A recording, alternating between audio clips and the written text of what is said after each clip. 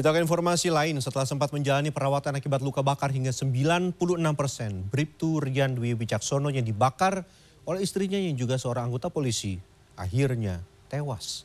Sementara sang istri, Bribtu FN dijerat dengan pasal kekerasan dalam rumah tangga.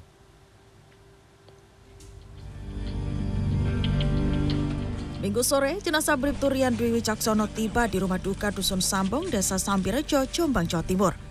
Bribtu Rian Dwi Caksono sempat menjalani perawatan di RSUD Dr. Wahidin Sudiroisodo Mojokerto, namun nyawanya tak tertolong akibat luka bakar yang dideritanya mencapai 96 persen. Setelah dilakukan upacara serah terima jenazah secara kedinasan, jenazah Bribtu RDW langsung dibawa ke tempat pemakaman umum di desa setempat untuk dimakamkan.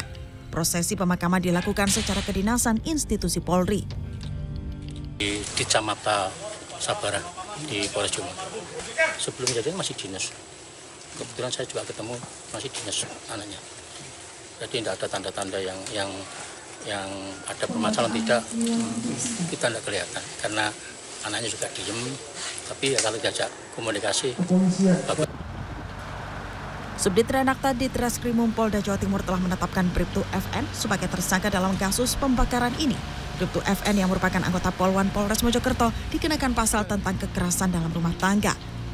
Dari hasil olah TKP dan gelar perkara, Kabit Humas Polda Jawa Timur menyampaikan kronologis kejadian Polwan bakar suami yang juga polisi ini.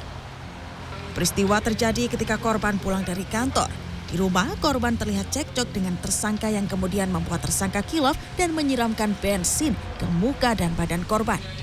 Karena di dekat korban terdapat sumber api, tubuh korban terbakar Usai kejadian, tersangka Bribtu FN berupaya melarikan korban bersama tetangga ke RSUD Kota Mojokerto dan sempat meminta maaf kepada korban atas kekilafan yang ia perbuat. Sementara itu motif yang melatar belakangi Bribtu FN membakar sang suami lantaran kesal terhadap korban yang menghabiskan uang untuk bermain judi online. Daripada kejadian ini bahwa saudara almarhum ini Bribtu Rian Dwi Nugroho ini uh, sering menghabiskan uang belanja yang harusnya dipakai untuk membiayai hidup ketiga anaknya ini dipakai untuk uh, mohon maaf ini main judi online.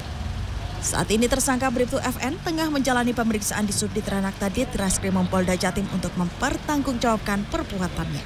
Tim Liputan CNN Indonesia.